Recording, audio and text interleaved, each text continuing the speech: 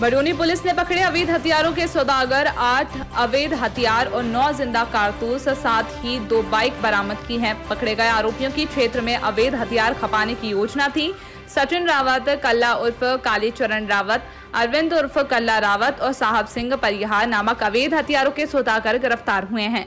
Badoni police को मिलेगा बीस हज़ार रूपए का इनाम। एसपी अमन सिंह राठौर ने प्रेस कॉन्फ्रेंस में इस बात की घोषणा की। इस दौरान एएसपी आर डी प्रजापति और बडोनी थाना प्रभारी रविंद्र शर्मा भी मौजूद रहे। संवाददाता संगम कुशवाहा की रिपोर्ट।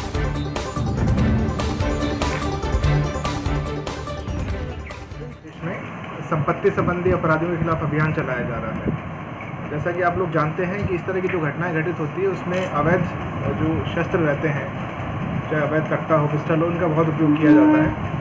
इसी को दृष्टिगत देखते हुए पूरे ज़िले में थाना प्रभारी को निर्देशित किया गया था कि जो भी अवैध आर्म्स के सप्लायर हैं उन पर नज़र रखी जाए और जैसी पुख्ता सूचना मिलती है उस पर कार्रवाई की जाए। कल थाना प्रभारी बड़ौनी रविंद्र शर्मा इनको सूचना मिली कि सचिन रावत नाम का आदमी जो कि आम सप्लाई करता है वो आम सप्लाई करने आ रहा है। इसको पहले इन्होंने टीम बनाई उसको पिक किया उसके बाद में उसने और इन्फॉर्मेशन दी कि तीन चार जगह और वो सप्लाई कर रहा है। तो तीन चार टीमें इन्होंने बनाई और उसमें कालीचरण परिहार साहब परिहार और अरविंद रावत। तीन अन्य आरोपियों को भी अरेस्ट किया है।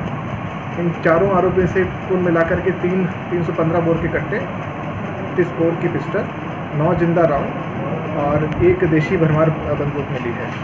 इसमें एक जो अपराधी है अरविंद रावत, इनका क्रिमिनल रिकॉर्ड है पूर्व से। अन्य जो अपराधी हैं, उनके क्रिमिनल रिकॉर्ड और उनकी सप्लाई चेन के ऊपर हम लोग काम कर रहे हैं। और आशा है उस पर भी जल्दी हमें सफलता मिलेगी।